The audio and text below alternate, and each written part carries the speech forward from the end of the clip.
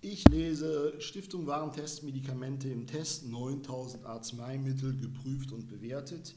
Im Kapitel Haut, Haare geht es um Hühneraugen und es werden Wirkstoffe in alphabetischer Reihenfolge vorgestellt. Das ist zuerst die Salicylsäure, die äußerlich angewendet wird und danach eine Wirkstoffgruppe.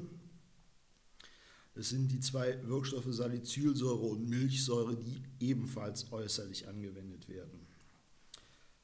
Salicylsäure äußerlich.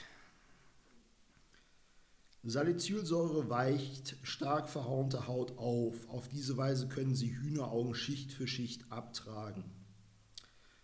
Die Einschätzung grün geeignet bei Hühneraugen.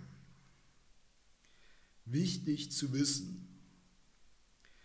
Waschen Sie die betroffene Hautstelle gründlich mit Wasser und Seife und trocknen Sie sie sorgfältig ab. Anschließend tragen Sie das Mittel ein- bis zweimal täglich direkt auf die Hühneraugen auf. Die umgebende Haut decken Sie mit etwas Zinkpaste oder Vaseline ab, damit sie nicht von der Säure geschädigt wird.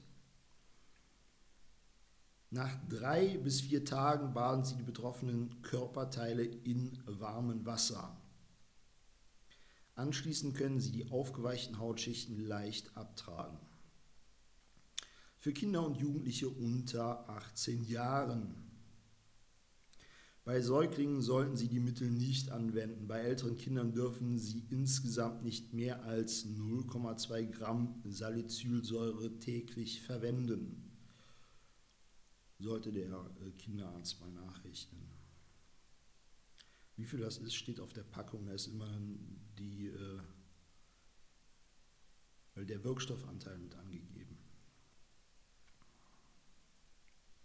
Da steht drin, wie viel Wirkstoff drin ist und dann muss man halt ausrechnen, wie viel Salbe das ist.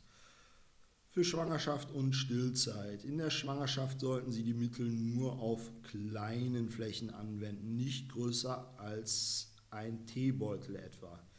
In der Stillzeit können Sie die Mittel anwenden, sollten aber darauf achten, dass der Säugling nicht mit dem Mittel in Berührung kommt.